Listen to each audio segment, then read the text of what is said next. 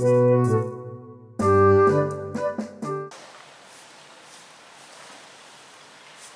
は案内ボランティアの竹内です。これから昔の子どもの絵についてお話しします。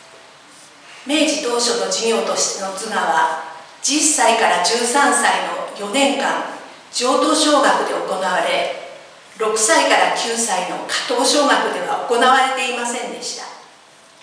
開智学校では明治16年中等科で図画が行われています。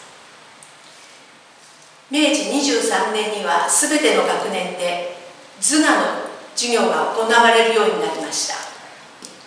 開智学校には明治10年から昭和 20, 20年頃の絵が1万2000点以上残っています。こちらをご覧ください。明治初期は教科書などの見本の絵を丁寧に模写した細密な作品がほとんどでした。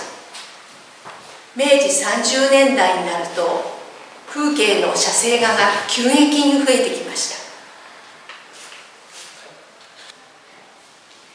これは轟元太郎先生の影響が大きかったようでこの先生は自然物の写生を重視し自然の中に出ていくことを大切に考えていました。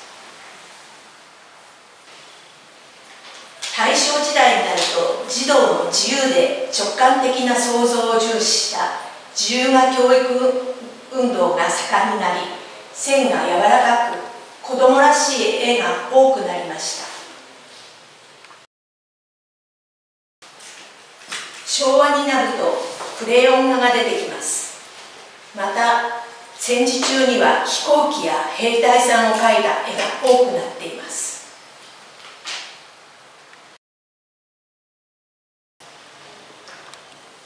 このように子どもたちの絵はその時代を映していました。